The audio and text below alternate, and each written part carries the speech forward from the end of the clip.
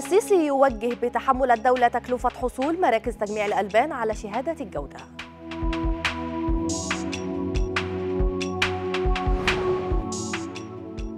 السيسي يوجه بالإسراع بالخطوات التنفيذية لتحديث كافة جوانب منظومة المخابز على مستوى الجمهورية. أمين حلف الناتو يقول إن الحلف سيتخذ قرارا بشأن مستقبل مهمته بأفغانستان في فبراير المقبل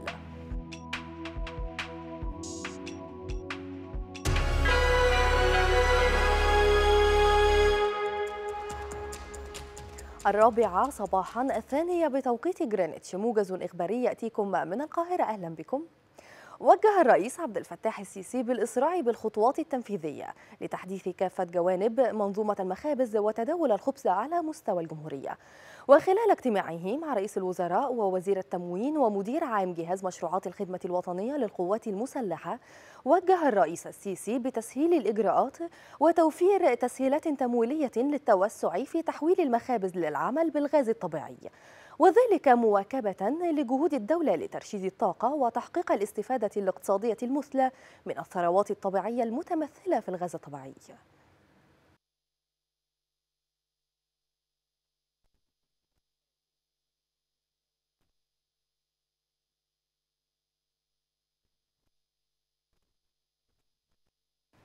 وجه الرئيس السيسي بتحمل الدولة تكلفة حصول مراكز تجميع الألبان على الشهادة الدولية لاعتماد المواصفات القياسية لجودة الإنتاج والبالغ قيمتها 50 ألف جنيه لكل مركز. وخلال اجتماعه مع رئيس الوزراء ووزراء الري والتموين والزراعة ومدير عام جهاز مشروعات الخدمة الوطنية للقوات المسلحة وجه الرئيس السيسي بتحسين آليات الري والاستعانة بالتكنولوجيا الحديثة خاصة للمشروع القومي الخاص بالتنمية المتكاملة للبيئة الصحراوية في الظهيرة الصحراوية لمنطقة الساحل الشمالي الغربي وذلك لتعظيم المردود الاجتماعي والتنموي لأهالي المنطقة. كما قال المتحدث باسم رئاسة الجمهورية سفير بسام راضي إن الاجتماع تناول متابعة المشروع القومي لإنشاء وتطوير مراكز تجميع الألبان على مستوى الجمهورية بالإضافة إلى عدد من مشروعات القطاع الزراعي.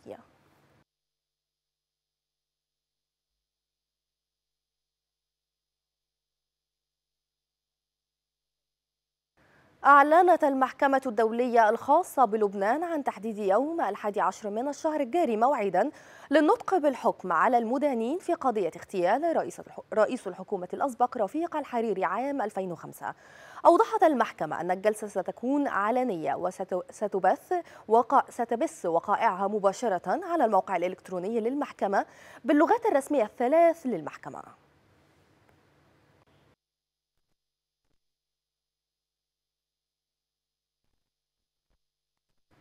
أعلن وزير الدفاع الإسرائيلي بيني جانس أن كتلته, كتلته ستصوت لحل الكنيسة اليوم الأربعاء. أشار جانتس إلى أن نتنياهو قرر حل الحكومة والذهاب للانتخابات بمنعه إقرار الميزانية مؤكدا أن كتلته ستصوت بنعم على حل الكنيسات.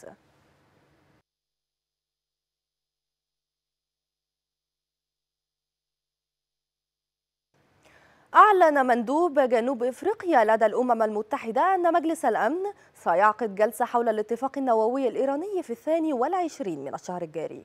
يذكر أن إيران تراجعت عن التزاماتها بموجب الاتفاق النووي الذي تم التوصل إليه في عام 2015 ردا على انسحاب الولايات المتحدة من الاتفاق وإعادة فرض عقوباتها على طهران.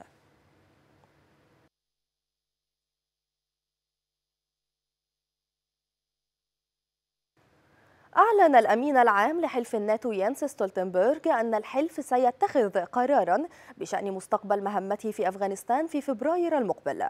وقال ستولتنبرغ خلال مؤتمر صحفي في أعقاب اجتماع لوزراء خارجية دول الحلف إن جميع الدول في الناتو أعربت خلال الاجتماع عن دعمها لمهمة الحلف في أفغانستان على الرغم من قرار الولايات المتحدة تقليص عدد قواتها في البلاد.